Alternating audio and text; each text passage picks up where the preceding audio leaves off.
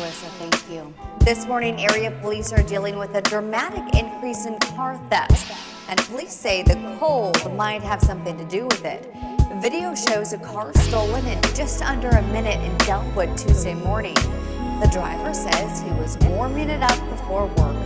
Police say many of the car thefts in the last few years have been under similar circumstances. In 2018, more than a thousand cars were reported stolen. Compare that to 880 in 2017. 6 a.m. and it's still, you know. Tell y'all niggas what we do at 6 a.m., nigga.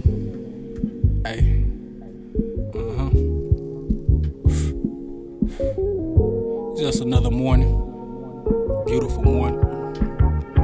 Look, hey. It's 6 a.m. I just woke up. It's time to hop outside. I call up Buzzo, told him drop me off on the south side. Now I'm on Compton Dolo, looking for a brand new ride. Peeked out the scat, cause I had seen the B badge on the side. I seen two hoes hop out carrying they snicks bag inside. Then the nigga walked out and walked to the passenger side. I met his ass right at the corridor with that big M9. Told his bitch ass give me his gun and keys, he did just fine. I hopped right in by then, them hoes came out bucking and fine.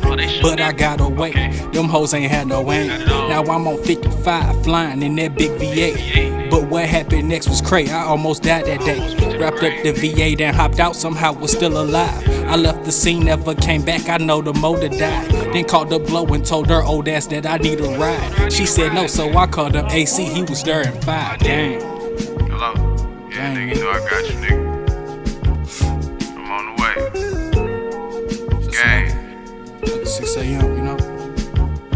Hey, look, call up Buzzo the next day like Buzzo. Guess what happened? I hit a nigga for a scat and his hoes came out blasting. Never got to remove the tracker cause I fucking crashed it. Yes, sir, I took that nigga gun cause he wasn't built for crashing. A mission failed, but you know I'm back in traffic laughing. 6 a.m. at STL, you know shit get tragic. Yeah, yeah, you know shit get tragic. Yeah.